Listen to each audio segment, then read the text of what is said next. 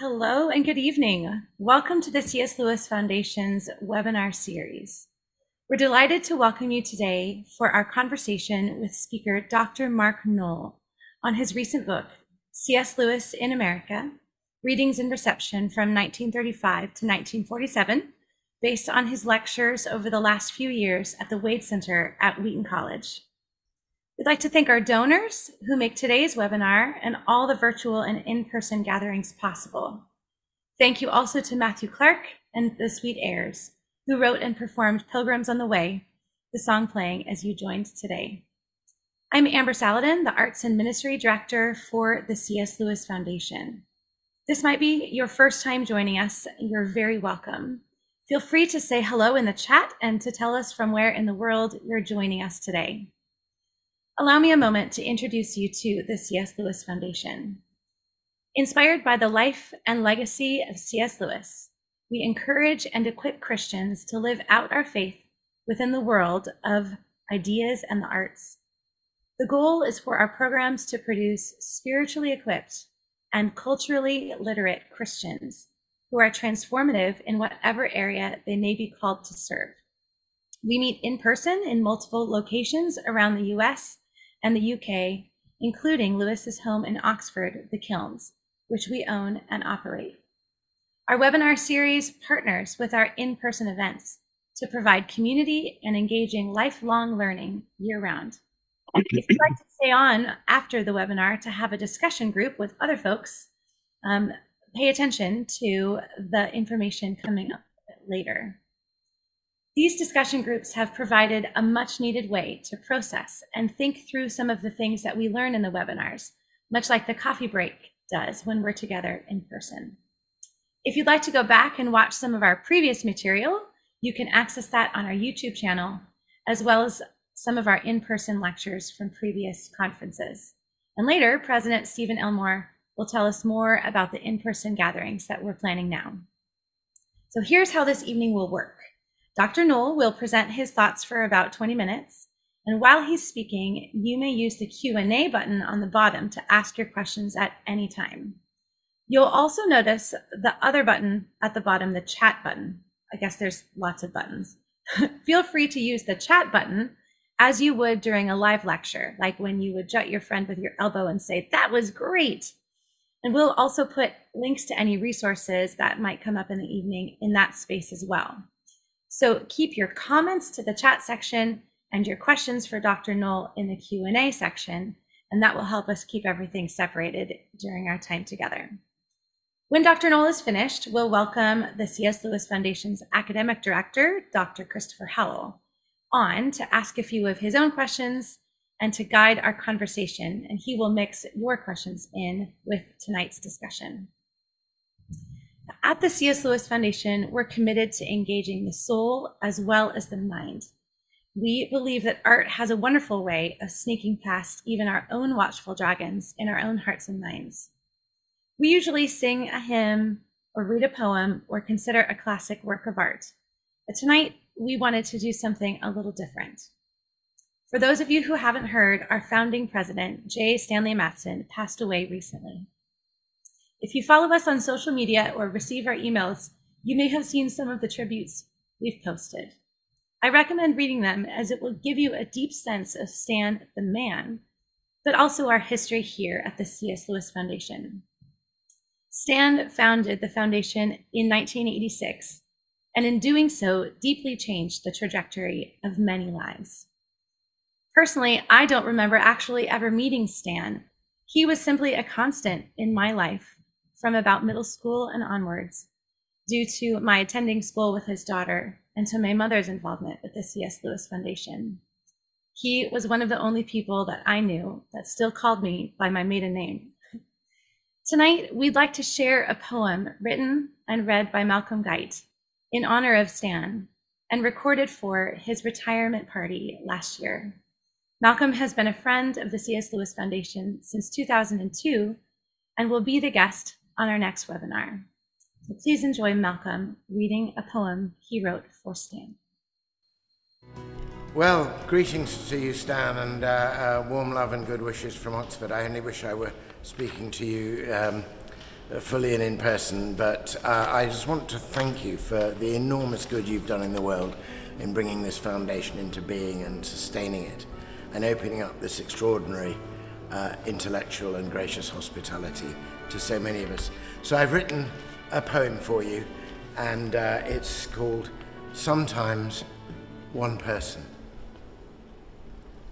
Sometimes one person changes things for good, takes the adventure, answers the true call, and bodies forth their faith in flesh and blood, not knowing if their work will stand or fall. Maybe the seed will grow, or maybe not. At least the seed is sown in faith and hope. the Lord will give the growth as he sees fit. That's what you did for us. And now the cup, so empty when you held it first, is full, overflowing, blessing one and all. Now we enjoy what you made possible. Thanks so much, Stan. I hope that if that interested you, you'll go back and listen to some of the amazing speakers, some of the amazing things that Stan has made happen uh, in the last 30, 35 years. Tonight, we have a brand new guest, Dr. Mark Noll. Uh, we have wanted to have Dr. Noll for a long time and have followed his career with interest. Dr. M- Mark Noll is the Francis A. McAnaney Professor of History Emeritus at the University of Notre Dame. His books and most of his courses discuss subjects related to the history of Christianity in the United States, Canada, and the modern world, including The Scandal of the Evangelical Mind and America's God, from Jonathan Edwards to Abraham Lincoln. He's the author of many books, a fellow of the American Academy of Arts and Sciences, He's received the National Humanities Medal and been the recipient of three fellowships from the National Endowment for the Humanities. This seems like very a very short bio for Dr. Noll, who is such an incredibly accomplished historian. So I'd like to welcome Dr. Noll to the screen with me tonight. Hello, Dr. Noll. Thank you for the very kind introduction. It's a real privilege to be with the C.S. Lewis Institute. Thank you. So the project uh, we're talking about tonight began in 2013 during my years teaching at Wheaton College. And while I never considered myself a C.S. Lewis expert, I had enjoyed numerous illuminating conversations with Chris Mitchell, the director of Wheaton's Wade Center, which, as many of you know, curates works by and about Lewis and six other British Christian authors significant in his life. In those conversations, I had sometimes expressed the opinion that while direct attention to Lewis was a good thing, that attention could become too tightly focused. My thought was that if Lewis was read and appreciated without more attention to the context in which he lived and worked, it risked adoration of Lewis, preventing the possibility of insight or understanding drawn from connections in his own time. So for a conference in late 2013 to commemorate the 50th anniversary of Lewis's death, Chris asked me to contribute a paper featuring attention to those connections. I can't remember exactly the thought process that led to my paper, except that it seemed like an appropriate task for myself as a historian, who had done a great deal of work on the Christian history of the United States, to ask what Lewis's early reception by American readers told us not only about Lewis, but about those who read Lewis and responded in print to what they had read. I also thought that for a conference paper, it would be enough to focus on the years before Lewis became hyper famous with the publication of the first Narnia book in 1950 and then Mere Christianity in 1952. As it happened, when Chris's invitation arrived, I was teaching at the University of Notre Dame and privileged through Notre Dame's generosity to employ my wife Maggie, a trained librarian, as a part-time research assistant. Maggie was eager to help. She soon found from periodicals in Notre Dame's library and on the internet that there was indeed a great deal of early American commentary on Lewis. It began as a trickle in the 1930s and early 1940s, primarily in scholarly journals with references to the allegory of love and a preface to Paradise Lost, but also with some interest in Lewis's debate with E.M.W. Tillyard in The Personal Heresy. But then, with the American publication of the Screwtape Letters in February 1943, a year after its appearance in Britain, attention to Lewis exploded. From that point on, Lewis seemed to be everywhere, including newspapers, which then published many more serious book reviews than is the case today, middlebrow periodicals, and scholarly journals.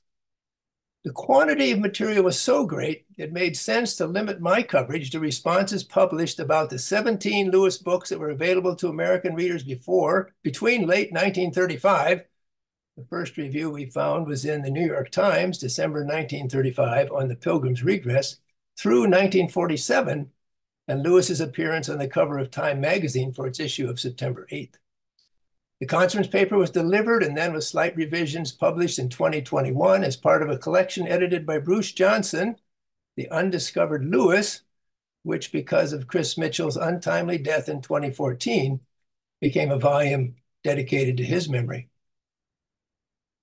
Because of my wife's research, however, we had found much more interesting material than could fit into one conference paper. Thus, it came about that when the current directors of the Wade Center, David and Crystal Downing, asked if I would become a Hansen lecturer, they were amenable to the idea of expanding what I had done earlier.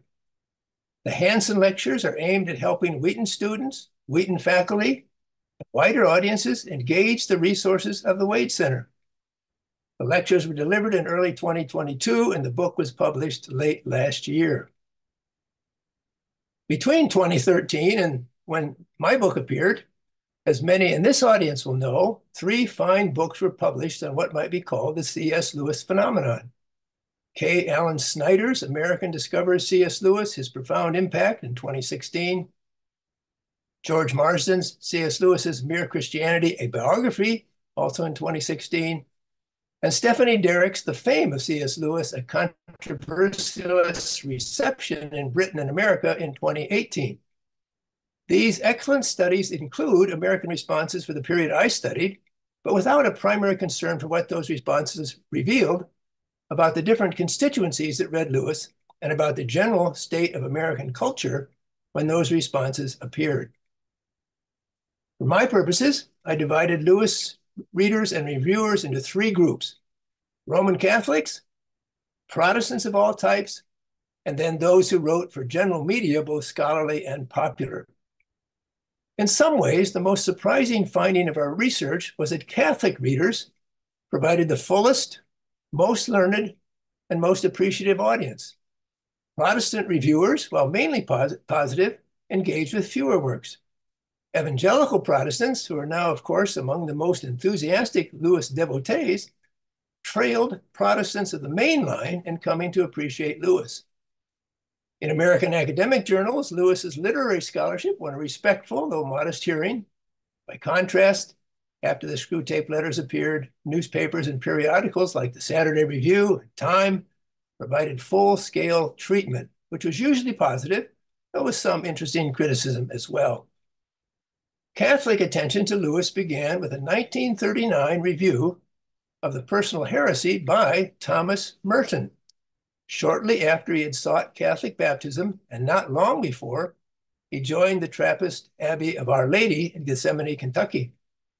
Merton commended Lewis for arguing that the enduring value of literary works lay in what they revealed about reality rather than what they revealed about the author.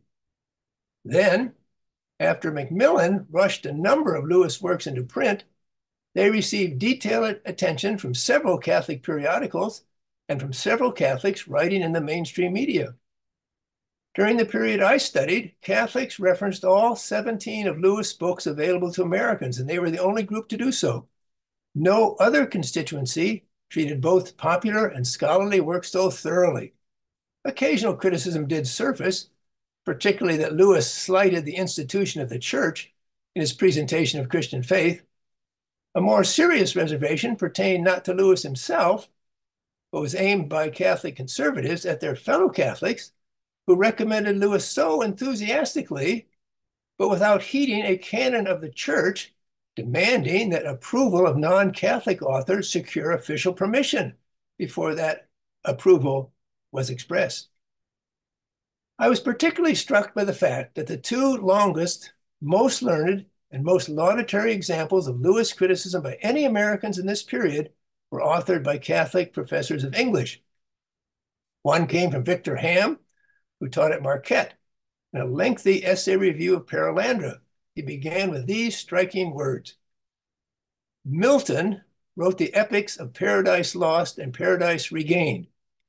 Mr. C.S. Lewis has essayed the epic of Paradise Retained.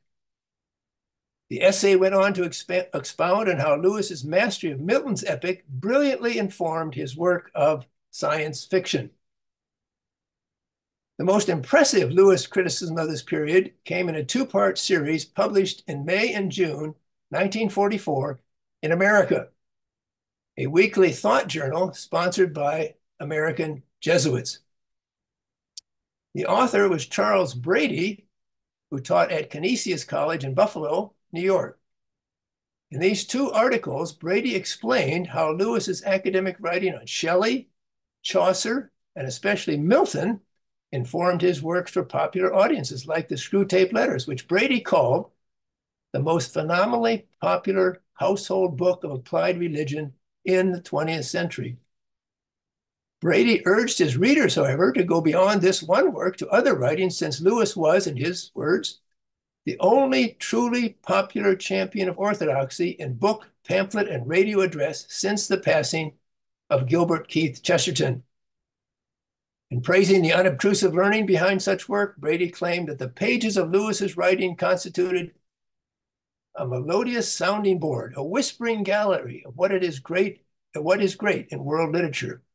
And then Brady specified as Lewis's sources Virgil and the Aeneid, R.H. Benson, Olaf Stapledon, Rider Haggard, Ronald Knox, J.R.R. Tolkien, William Morris, Jonathan Swift, John Henry Newman, Chaucer, Dante, and many others, including especially, again, Milton.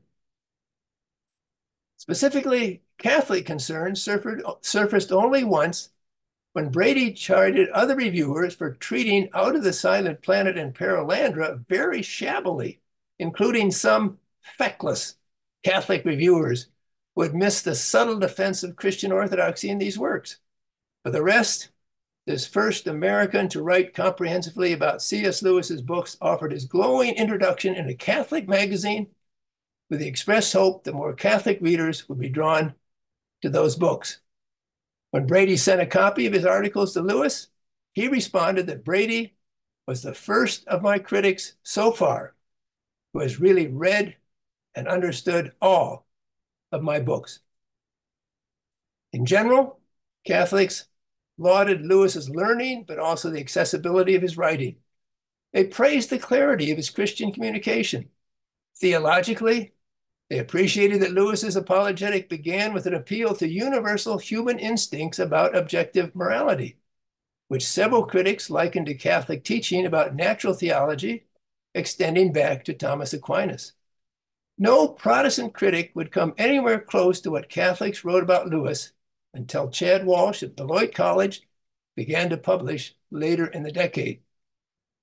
Walsh, the most perceptive Protestant who wrote about Lewis in this period, published substantial reviews in both Protestant and general periodicals, including a major article from 1946 in The Atlantic entitled C.S. Lewis, Apostle to the Skeptics. A wide range of Methodist, Lutheran, Baptist, and Episcopal periodicals also routinely reviewed Lewis positively, though none with the depth found among the Catholics.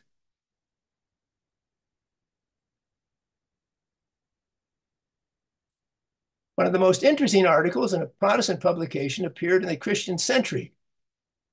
In 1946, it ran an essay by an Episcopal priest who had visited Lewis in Oxford and reported patronizingly that Lewis did not seem much interested in Soren Kierkegaard or contemporary existentialism. The most important contribution of this article, however, concerned W.H. Auden, who happened to be a parishioner of the author's church. When Lewis heard that Auden had enthusiastically introduced his rector to the Screwtape Letters, Lewis said he had noticed that the poet's recent works reflect a strong interest in religion, especially from the viewpoint of Orthodox Christian theology. Earlier, Auden had written a strongly positive review of the Great Divorce. Evangelical Protestant responses to Lewis appeared late and with considerable hesitation. The widely circulated Sunday School Times mentioned a couple of Lewis's fantasies.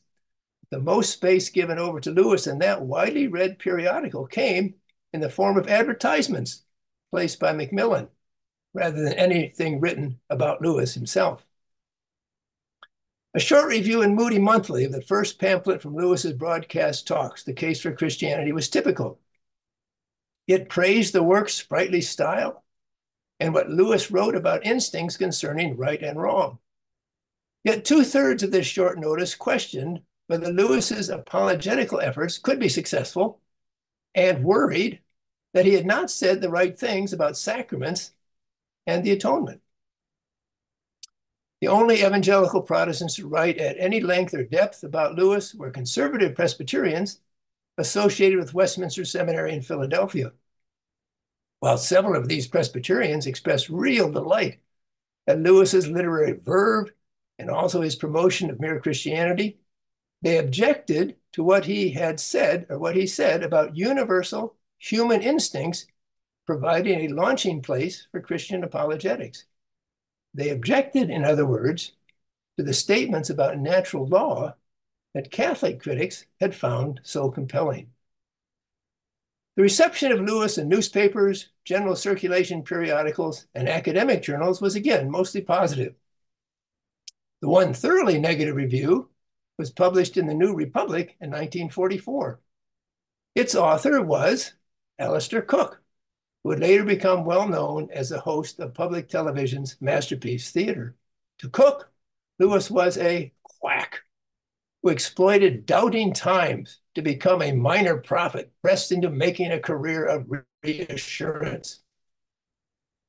Much more common in the general press was appreciation, occasionally with reservations, more often with appreciation alongside mild criticisms, but most often with simple enthusiasm.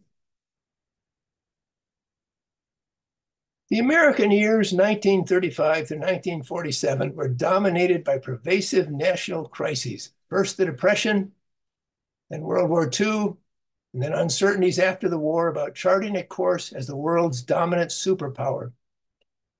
In that period, and with those tensions, Lewis's literary scholarship, his creative works, the broadcast talks that would later be gathered together as Mere Christianity, and overtly theological works like The Problem of Pain and Miracles resonated powerfully with Americans of all sorts. These same years were also witnessing a crucial cultural transition from a past in which Christian values could be more or less taken for granted by wide swaths of the American people to a future in which those values became increasingly contested. In that context, Lewis's defense of the instinctive human belief in moral absolutes and his advocacy for specifically Christian truths reached an appreciative audience well beyond the Christian circles where he remains so well regarded today. That he became so popular and with almost no overt political references reveals something important about the period 1935 to 1947, and also about how our present circumstances have changed from that earlier period. Thank you. All right. Thank you so much, Professor Noll, for giving us the overview of of the book and some tantalizing questions and some surprising findings. I, I myself too, reading it, was shocked to learn about the uh, immediate Catholic exuberance for Lewis and also the slow evangelical uptake because it's just not what you expect when you know Lewis. You think about his evangelical American fans, like those those that's probably his biggest support demographic, and um, to have to know that, that was kind of took a while for that to to um, develop was interesting. Um, for those of you that would like to ask questions, uh, please put them in the Q&A and I will look through them. I, would like to start off with one that I wanted to ask about, and you touch on it in the conclusion of the book. Um, this shows, this research shows a lot of interesting stuff about what American religious life was like at the time that Lewis was publishing in his early career. Um, but we're coming up now, and especially with say Pilgrim's Regress or something, 90, almost 90 years. So that you know these these books will soon be 100 years old, and they're still popular. Uh, but what does it tell us? What does your research tell us, and what does Lewis's popularity tell us about now? Like what what can we what can we do to apply it to the present? Yes, uh, clearly in the period I was working on, there was a kind of residual Christianity, not sharply focused Christian belief, but residual Christianity. So apart with just very occasional examples like like Alistair Cooke, um, the Christianity in Lewis's work was not an objection, particularly for those who recognized its creativity, its its intellectual depth, and his his uh, literary learning. Today, we simply don't have that kind of residual awareness commitment to what might be called traditional Western values.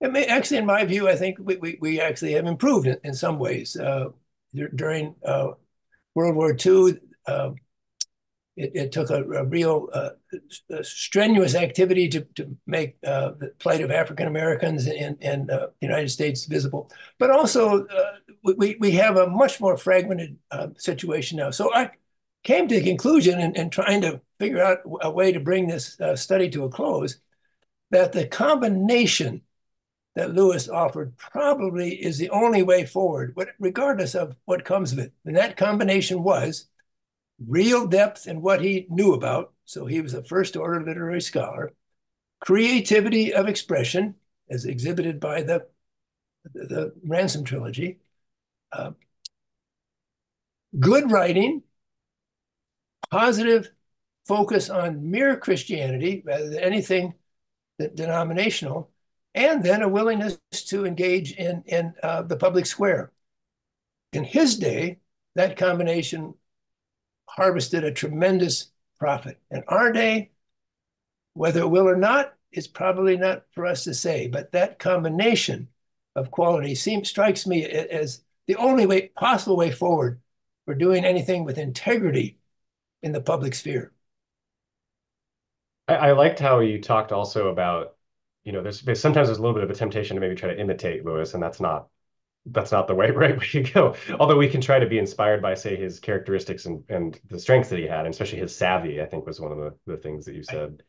Well, Im imitating Lewis is certainly a temptation when, when you read him and you're just blown away by how interesting he is. But then uh, that becomes a, a mistake by not realizing that Lewis was writing in his times. And while many things would remain the same in our times, there are some things that are considerably different. And um, effective Christian proclamation, I think, needs to take into account those differences. Mm-hmm. Yeah, definitely. Um, we've got a number of great questions that are coming in, so I'll go ahead and, and start reading those. Uh, Harvey Solganic, I hope, sorry if I pronounced that incorrectly, um, says, thank you for your research on, on Lewis works by Christians. As a Messianic Jewish Christian, I was I have been influenced by Lewis. Did you find any Jewish writers writing about Lewis? Uh, I am currently looking researching this topic. I did not. Um, although I did not track down the background of every one of the uh, reviewers, particularly in newspapers, of which there were dozens, scores, uh, and, and, almost all of them enthusiastic. Actually, it would be interesting. I deposited at the Wade Center the, the very extensive book my wife worked up, explaining as much as could she could find out about all of the authors. I don't hmm. think there were identifiably Jewish authors in this period. It'd be great if someone could find some. Yeah, that would be fascinating. I, I, hope to see. I hope to see some some fruit coming from the research that was mentioned there. Um, Margaret Horowitz, or Horowitz uh, says, "Thank you for your excellent talk um, you talked uh, about Charles Brady in particular, and you, included the essays at the end. So I want to mention that those were like uh, searingly uh, powerful essays. There, I, I don't remember really reading uh, like literary criticism that was that uh, potent. I feel like. Um, and so uh, I recommend it to all of you that are watching to, to go to go look them up. Um, but uh, Margaret asks, uh, did Lewis and Charles Brady correspond uh, more about it? Yes, uh, the the, um, the, the current editors of America magazine did give us the permission to reprint the the two essays from 1944, and they, as as Chris suggested, they really do sparkle. Brady was a learned person. He knew the classics. He knew medieval literature. He knew Renaissance literature. He knew Catholic. In fact, he, he edited a book not so long thereafter of Catholic literary works trying to show that Catholics could be lively minds. He did send his essays to Lewis, and as I mentioned, Lewis wrote back and said, "You're the first person to get me entire." And then Brady went on to write several reviews of Lewis's later works, um, uh, right up into the 50s, early 50s, Narnia Tales. He reviewed also uh, Charles Williams, J.R. Tolkien. And at some stage, we found out from Canisius College archivist, he had worked on a manuscript on Lewis, Tolkien, and Sayers. But for one reason or another, he was getting into writing his own fiction. He did fictionized studies of uh, Leif Erikson, Thomas More. He also did a book for children, um, imagining a mouse in the church where Silent Night was first uh, performed. So he got busy on other things and never published that manuscript. It would have been fascinating because he was he was a, a reader of Lewis and his friends for at least another 15 years after the 1944 essays. Um, what what about Brady's assessment do you think made Lewis make that comment? That because that's really a tantalizing comment about like that Brady understood him eh, better than anyone else. That is that is high praise, right? I mean, that's what you want to hear from an author. I, I am curious about, especially in like say Pilgrim's Regress, for instance, um, right. which is something we could talk about. Um, why why why do you, why do you think that was he was so keyed in? Well, it what uh, blew me away when in reading Brady and then reading other people writing on including the really fine essays by Chad Walsh that some of you know led to a book, I think, from 1949 50, the same title, C.S. Lewis, Apostle of the Skeptic. Nobody else showed how thoroughly the work in The Allegory of Love and A Preface to Paradise Lost informed Screwtape, Great Divorce, the Ransom Trilogy, and then how uh, much um, the standpoint in the debate with Tillyard resonated with what Lewis had to say in the uh, the, the, Men Without Chests book uh, immediately uh, uh, toward the end of the war. And I think what what Lewis was struck in Brady by is, is how he, he was able to talk about Lewis, the academic scholar, and Lewis, the Christian apologist, and Lewis, the Christian fantasist, and to do so coherently. Nobody else did that in this period. Mm. And I, will give way to Lewis scholars and know who, who did it. I'm sure people have done it uh, later, but this, this was extraordinary. Hmm. I, that's that's still something. I mean, I even noticed this in myself. I'm like, I, I have read his popular, most famous books, and some of them several times. But I, I actually am not as familiar with the the academic works. You know, we we actually read a preface Paradise Lost when I was an undergrad, but um, some of some of his more uh, lesser known ones that were earlier in his career, it does seem like there's a lot more crossover than than we thought. Um, some other great questions coming in. Uh, Barbara Perry wants to know um, what do you think about the difference in responsivity to Lewis in the U.S. versus the U.K., especially especially today with the U.K. being right. not as enthusiastic as as we are. Well, the Stephanie Derrick book that I mentioned is really, really, really good on that. And she um, has a, a, a, solid explanation for why Lewis, probably from the late 40s, uh, has always been more popular in the US than in the UK. She has some excellent research on the, the resentment of Lewis's academics at his popularity, partly that, the resentment at how, how how much he uh, skewered some of their um, uh, pet pet theories about life in general. Um, and I think that she also draws attention to the, to the uh, over the Atlantic phenomenon that uh, Lewis's crisp, sharp prose devoted to serious theological topics, his creative intelligence, hit, hit the fact that he came from uh, Ireland, UK. Th these these were uh, factors that put Lewis outside of the ordinary voices in America in a way that they never were outside. Or and there were there, there was of course Chesterton, and there, there was there was Dorothy Sayer, Dorothy L. Sayers, and there were others in the UK, not the same as Lewis, but but doing something similar, whereas it just wasn't the case in the US. And then I, I think it, it's it's also worth thinking about that that um, Lewis's popularity in the U.S. had has to do with the fragmented ecclesiastical Christian situation in, in, the, in the United States, and whether he was thinking about this when he worked on mere Christianity, it really was a stroke of genius for better even for the U.S. its fragmented religious Christian landscape, where having a banner that was clearly Orthodox, clearly tradition, but not denominational was a, was a really unusual thing. I've been interested to people talking to friends in Australia and Canada, South Africa about Lewis's reputation. He does have a good reputation all of these places. I don't have the sense that any of them, that in any of them, it's been as strong as in the U.S. But again, the, the, I, I would refer people to, to the book uh, by Stephanie Derrick, which is, is, is really informative on these questions. Well, that reference to like how mere Christianity maybe found fertile ground here because of the diffusion of denominations and so on. That that actually maybe leads to a, a good segue to the next question by Harley Baker. Um, could you say more about what you mean by residual Christianity and perhaps how much of that there remains today? Is that the same thing as the mere Christianity? This is my sort of question too. Is the mere Christianity uh, no. or is it slightly uh, different? No, by residual Christianity, I mean uh, um, an awareness in the culture of the significance of the Christian formation of the West, even by people who aren't particularly keen on being Christian themselves. It was intriguing to look at the, the early scholarly response to Lewis uh, by people like Arthur O. Lovejoy, a great chain of being author, founder of the Journal of Intellectual History, in his inaugural article in the inaugural issue, Lovejoy points to C.S. Lewis as someone who understands some of the really important past handed on uh, to the present.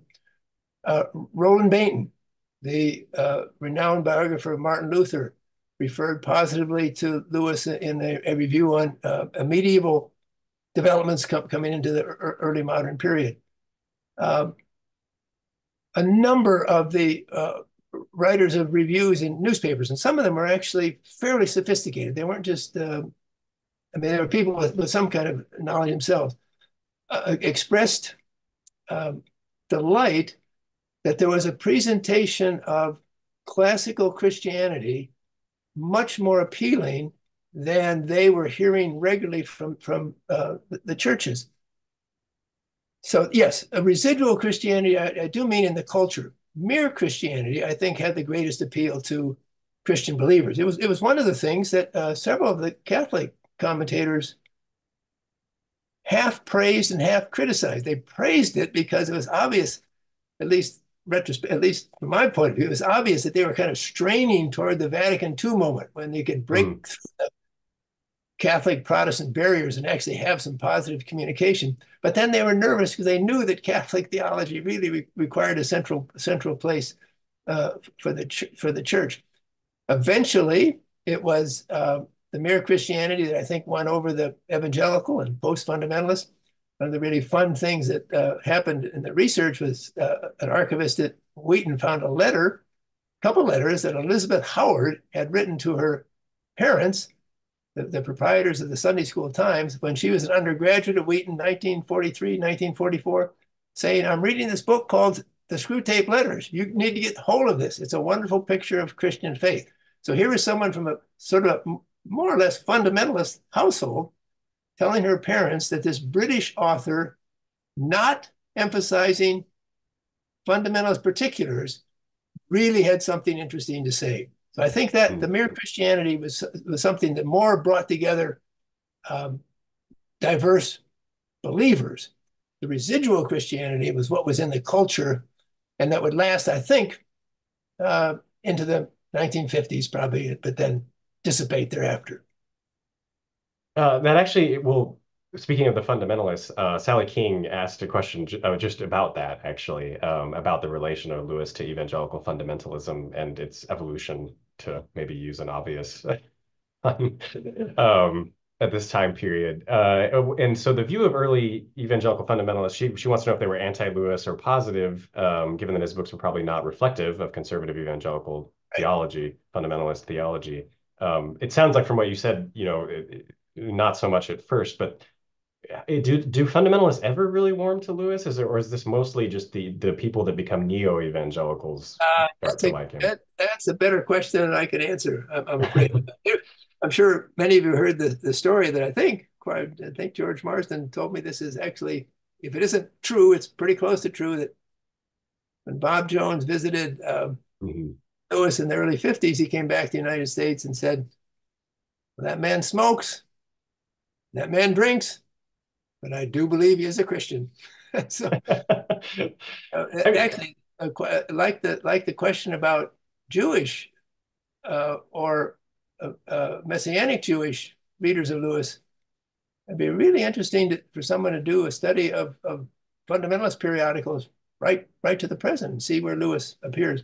I think what what if you just keep chronology in mind, the, the, the early 1940s, post World War is post World War II is when significant leaders like Carl Henry, E.J. Carnell are, are trying to preserve what they consider the Christian Orthodox positions handed on from fundamentalism, but also trying to break away from the cultural narrow-mindedness and the focus on secondary matters.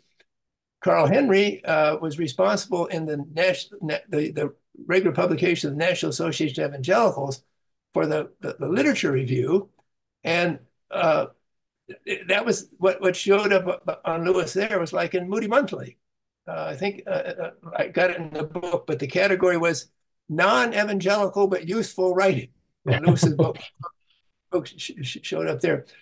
By the late 1940s, people like Chad Walsh were communicating with uh, folks at, at, for example, at Wheaton College. Uh, Clyde Kilby, the English professor who eventually gathered the papers and became the Wade Center came on to Lewis in the late 40s and, and it was obviously somebody he, he was looking for a, a bright, informed, literary, sophisticated, but also ably communicating voice, promoting not the particulars of one style of Christian faith, but mere Christianity. So, yes, uh, those who wanted to continue to call themselves fundamentalists, I'm not sure. But for people who were conscious of needing to do more culturally, do more with literature, do more with the arts, more with culture. Lewis was just a godsend. Yeah, I would be fascinated to look into that more of like if if the ones that stayed, you know, following Marsden's study of fundamentalism, if the ones that stayed in the enclaves just didn't because I, I, I mean, the thing, the story about Bob Jones Jr. It is believable to me that Lewis would take him to a pub without really realizing that he wouldn't drink. It maybe is not so believable to me that Bob Jones Jr. would say such positive things about him when he was so severe about Billy Graham being like this instrument of of the Antichrist and so on. It's like you know uh, Graham's theology was a lot more mainstream than, than a lot of Lewis's. So I, I don't know I don't know if he would be as so charitable. Maybe I, I don't I don't know. It's it's it's plausible like you said, but maybe maybe slightly uh, embellished. Um, but I I do I do wonder if the the neo evangelical trend can be seen in just Lewis's career of making it more apparent. Like like they Carl Henry asked him to write for the first issue of Christianity Today, and he he turned them down. But the fact that he was the one that they wanted, I think, says a lot. Well, uh, I, I, should have mentioned this earlier, but a, a really important influence in bringing Lewis to the broader evangelical world was InterVarsity Christian Fellowship. His magazine in 1944, 1945 reprinted a section from one of the pamphlets coming from a broadcast talk. There was quite a, uh, at least one or two, two or three just exploratory. Here, here's this Oxford uh, Don, who is uh, presenting lively accounts of Christian faith. And it was, it was clear you had a different, um, different mindset by the leaders of InterVarsity. And significantly, the editor of his magazine, when um, it was it, it, it reproduced some of Lewis's own writing and then reported positively on Lewis, was Kenneth Taylor, who at the time I believe was employed by Moody Press, but was on in the process of working on the living letters and then the living New Testament. And so, in that way, indicating another way of trying to not debunk the King James Version, but to push toward a more contemporary, more modern, more effective way of communicating Christian truth. So, InterVarsity Press was uh, InterVarsity Christian Fellowship and and and uh, re related agencies are really important in this uh, burgeoning of evangelical interest in Lewis. This actually, uh, Amber Saladin, our arts and ministry director, she she wanted to ask a question related to this about you know if he's sort of if if Lewis maybe can be seen in some ways as kind of a bridge or InterVarsity maybe supports his work uh, or or uses him as kind of a bridge between fundamentalism and evangelicalism. Is there a similar figure or organization today that you see doing the same kind of thing? I kind of wondered about like BioLogos and, and Francis Collins as maybe being right. yes, yes, that's that's a, yes. Um, the the Christian and the Arts Group and their magazine, what's it called? Images. Um, mm-hmm. it would certainly be that way. I, I actually think there probably are many more Christian groups doing that today. The, the, the question is in our fragmented media environment whether any single effort or multiple efforts uh, can have the same kind of impact as Lewis did have in an, in an era when uh, not only the Catholic periodicals, eventually the uh, evangelical and fundamentalist periodicals, the mainstream Protestant periodicals, the book review sections of the New York Times, the New York Herald Tribune, dozens of newspapers, we're all writing about this one individual from, from one angle or another. It just, I think in our fragmented mm-hmm. landscape of communications, we're, ne- we're not going to see anything like that. But I, I, do, I agree with you. I think there are many, many, I'd say Christian of, of di- really different sort, Catholic, Orthodox, wide variety of Protestants that are doing Lewis type work, but with a very different situation than he than he encountered. Hmm. Um, we have a question that's been here for a while that I wanted to I wanted to circle back to, and I think it, it can kind of tie into what we've been talking. Uh, Mildred, and I'm sorry if I mispronounced this, Shibkowski, I think, um, uh, asked, uh, uh, noted about how Lewis being on Times Mag Time magazine was a big deal in 1947, I think, right? Um, and so you talked a little bit about the reactions from the non-Christian world to that and to him, and which is interesting to hear about. And I also kind of want to add on there that, like about continued Lewis, uh, maybe non-Christian interest in Lewis today compared to to then. Because I noticed, like, but my my students all know him because of Narnia, um, and and they are still very familiar with it, mostly because of the movie. But a lot of them had the books read to them, so there is still a lot of knowledge of him. But uh, the the contrast and what you saw would be interesting to to hear. Yes, and and certainly one of the one of the interesting things to me was how how widely, at least some of Lewis's works, either mostly I think the uh, like the Great Divorce and the, the, the Ransom trilogy, were treated seriously. Uh, Lewis appeared on the cover of the Saturday Review of Literature in 1943 or four, so several years before he was on the cover of, of uh, Time. And the, editor, Leonard Bacon, who was a distinguished uh, Pulitzer Prize winning poet, ha had a rapturous article on Lewis uh, for recognizing the Christianity behind what he wrote, but rapturous about the form, formal uh, expertise uh, of, of his works. Now, today, I, I just, well, I think uh, a, a, comparison would be Marilyn Robinson, mm -hmm. when she wrote about um, John Ames garnered a lot of favorable attention, even though I would say, even though people knew that Ames was a real serious Barthian Protestant.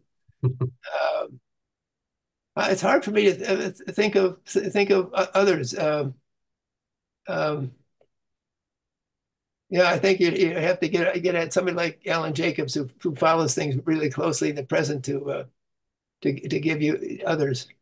Well, I think uh, the fact that the fact that Robinson writes so much fiction and nonfiction from yes. an obviously Christian yeah. standpoint. Yeah.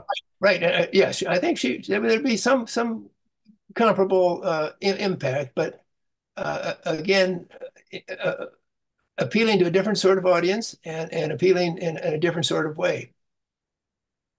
Um, one last question before we do the advertisement uh, for our commercial for some of our upcoming stuff. Um, I wanted to ask Max Feiler has an interesting one about media, which I think would be a fascinating component of this we haven't talked about.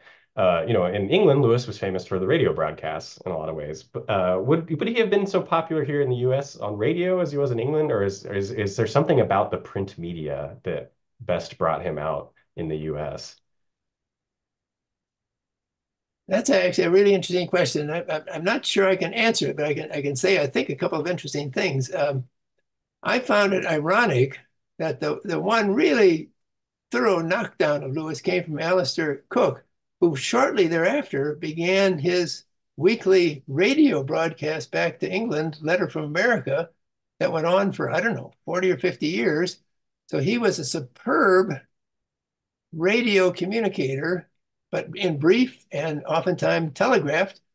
And he was, in sense, knocking Lewis for being a superb radio communicator, telegraphing things uh, succinctly. The other thing I would say is that um, the Hansen lecture is set up so that there's a commentary by Wheaton faculty of the different lectures. And the commentator from, from my lecture on the mainstream media was Kirk Farney, Wheaton's um, vice president for advancement, but also PhD in, in uh, uh, history from, from Notre Dame. He wrote his dissertation and a fine book now from University Press on uh, Monsignor Sheen, Bishop Fulton Sheen, mm-hmm. and Walter Maier of the Lutheran Hour, who in the 1930s may have been the most popular people on American radio. Uh, in the late 1930s, the, the, the, broadcaster that won the rights for the World Series got it out to like 90 stations. Walter Maier was on like 400 stations at the same time. So they were they were more preacher preaching. Lewis mm-hmm. was less of a preacher and more of a what a lay communicator. Mm-hmm. And uh, in on the BBC, you never had commercials which I think actually would have been significant. Of course, you didn't have commercials with Sheen or Maier. Sheen was on the uh, Catholic Hour, the time donated to the to the churches. Uh, Maier had to buy the, the Missouri Synod Lutherans had to buy time that there would not have been advertisements. But I do think commercialization of, of radio makes a difference. So there was Lewis never had to say, well, I'll be back after this word from. um, um, well, a really good question. Yeah, it's an interesting part of the story of I think the evangelical eventual warming to him too, because uh, in terms of of media and presentation, because they have always been a, a group, a religious group that has been adept at using technology to evangelize, right? And I actually, I think one of the reasons, from my perspective, I think one of the reasons Lewis became so popular with the evangelicals is he had a new technology for evangelization, and it was novel writing. That this was, especially children's books, that this this was maybe something that uh, you know fundamentalists often were sort of standoffish about, but Lewis showed that it could really be uh, one of the maybe most effective ways uh, to to spread the gospel. And so um, if anyone does that, then they're going to be welcomed. You know? uh, so real quick, we'll transition to our announcements uh, from President Elmore and have him come on for a second. Hi, Mark. Hi, Chris. Mark, it's wonderful to, to see you, and thank you for joining us tonight for this. Very informative, and especially uh, just the long history of Lewis in America and all the uh, all the wrinkles in that, and getting to the point where where we are today. So Thank you for that. So I have a couple announcements to make uh, about upcoming events, but first I'd like to thank our sponsors and our volunteers for making this happen tonight. Because of your generosity, we shine a spotlight on speakers who are living the legacy of C.S. Lewis in higher education, ministry, and the arts. Our goal is to equip, educate, and encourage Christians to be salt and light to the culture around them. Hopefully, rather than uh, saltiness and lightning, as sometimes happens. If you'd like to support these webinars or the work of the Foundation, please consider joining us by making a gift today through our website, www.cslewis.org. So we have several exciting events coming up this year next. Our first event uh, is our next webinar, which is January 10th. Uh, it's Saturday morning, uh, 10 a.m. Pacific, and I'm in Pacific time, so we'll we'll do the math for you when we send out the announcement for whatever your time zone may be. And that'll be with poet Malcolm Guite, and we're very excited to see him again. You saw him on the video uh, sharing a tribute for Stan earlier, and we'd love to see you for the full webinar. He's going to be talking on the subject of Lent. After that, uh, our next in-person event is the C.S. Lewis Writers Conference, which will be May 2024. Thank you, Joshua, for putting that up on the screen. And we've partnered with Cultivating Oaks Press. Uh, some of you may personally know Lancia Smith and her organization, uh, but we're hosting, co-hosting the event in Colorado Springs at the Glen Eyrie Castle. Uh, it's actually a castle of sorts. Uh, at um, it's a navigator-owned property too, which is nice. Uh, but our theme is cultivating a writer's life. Speakers include Sally Clarkson, Jonathan Rogers, Lancia Smith, and Steve Laube. We will be opening registration next week, and we're excited to say that we've launched the website with all the information uh, as of this morning. So go look at that, and praise to uh, Joshua George who helped us design and create that website. I'm also excited to announce uh, this summer's summer seminars at the Kilns in Oxford, England, are now open for registration. Uh, the program is one week in Oxford with C.S. Lewis scholar Jerry Root, uh, who's always a favorite of ours. And it's part seminar at Lewis's home, which we own and operate, and part tour of Lewis related sites in the Oxford area. Spaces are limited only to 14 people per week, small group. It's however many we could fit on the two uh, vans that we were able to rent. And uh, register soon uh, for that because we did sell out in the first month last year. So go ahead, look at that, get those tickets as soon as you can. And I, I'll be there and I'd love to see you this summer in Oxford at the Kilns. Uh, if you receive our email newsletter, you'll get notifications for all of these things. Um, after having signed up for the webinar, we'll send you notifications as well. Um, but I did want to give you a head start on those registrations. So this is the first time we're announcing uh, outwardly that all these things are up and in place. If you have any questions about any of the events or anything coming up at the foundation or what our work is, please stick around for the discussion groups afterwards and join those, and I'll be happy to answer any questions you may have. So back to you, Chris and Mark. All right, thank you, Steve. And so we have time to do, there's one last question, and I think we could, I would like to maybe add an addendum to it to kind of make it your final takeaway too, and then we will conclude. So Chad Nye asks, um, what do you think is the most significant impact or contribution of Lewis in the US today? And I think that's a good one to end on, and maybe a good one for you to also kind of add in your your uh, final thoughts for us. I think the integrity with which Lewis went about his work is maybe the thing that can be most imitated. I actually closed the book uh, before we got to the appendix with the Charles Brady essays, where Lewis uh, did an early draft of what the poem that became the apolog apologist's prayer, in which he um, talked about the danger to the Christian writer who felt that he had been a success, and the danger that came from the lack of humility and the lack of an understanding that anything that any believer does in, in public life can be done only by grace. So the, the uh, integrity of his work, the humility of his attitude toward his own work, these, I think, are traits that can be imitated, not just in literary life, not just in apologetics, but in every aspect of Christian living. Well, thank you so much for joining us and for talking about your book and all your research. Uh, very fascinating. As an American religious historian myself, who works for the C.S. Lewis Foundation, this is 100% the thing that I'm interested in. And so, very fascinating. Um, uh, thank you so much. Um, we hope you enjoyed it too. And uh, we'll go ahead and let you go. I will be concluding here with a, uh, a short prayer. This was uh, this is in, in, memory of Stan Mattson. Uh, this was actually selected by our uh, Amber Saladin, our arts and ministry director, and I'll go ahead and read it. Uh, this is an Eastern Orthodox prayer for the repose of um, souls who have passed on. O God of spirits and of all flesh, who has trampled down death and overthrown the devil, and given life to thy world, do thou, the same Lord, give rest to the souls of thy departed servants in a place of brightness, a place of refreshment, a place of repose, where all sickness, sighing, and sorrow have fled away. Pardon every transgression which they have committed, whether by word or deed or thought, for thou art a good God and lovest mankind. Because there is no man who lives yet does not sin, for thou only art without sin. Thy righteousness is to all eternity, and thy word is truth. For thou art the resurrection, the life, and the repose of thy servants who have fallen asleep, O Christ our God. And unto thee we ascribe glory together with thy Father, who is from everlasting, and thine all holy, good, and life creating Spirit, now and ever, and to the ages of ages. Amen.